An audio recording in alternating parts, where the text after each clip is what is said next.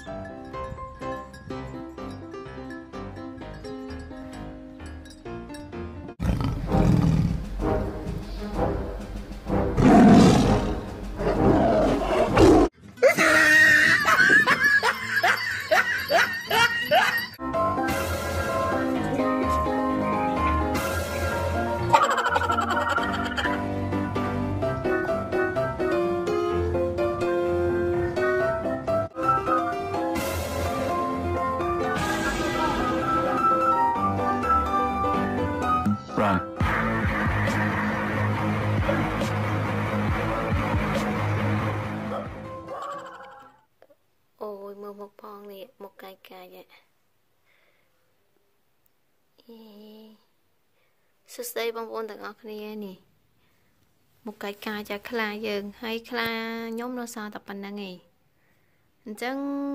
ខ្លាហ្នឹងគេយកសម្រាប់ធ្វើអីគេ YouTuber ដឹងឯងចឹងណា YouTuber ក៏យកសម្រាប់ប្រេងឆ្កែសឹបស្វាឬក៏ប្រេងគោប្រេងអីអីចឹងទៅ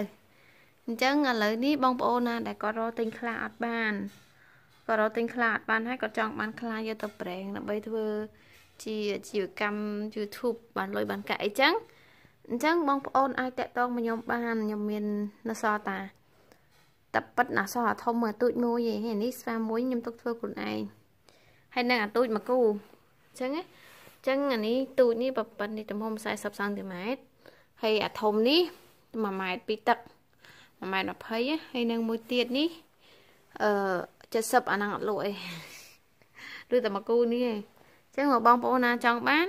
អឺអាចខមមិនលេខទូរស័ព្ទមកឬក៏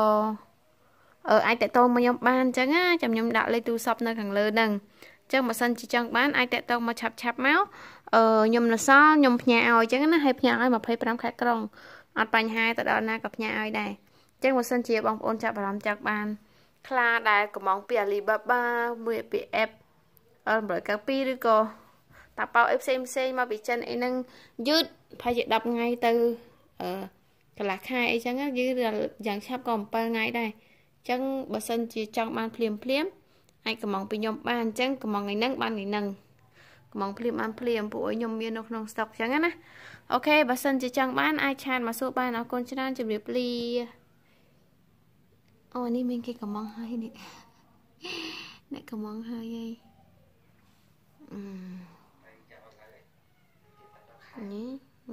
មកកាច់កាច់ណាឆ្កែឃើញដឹងតារៀកណូហ្មងអរគុណបាយបាយ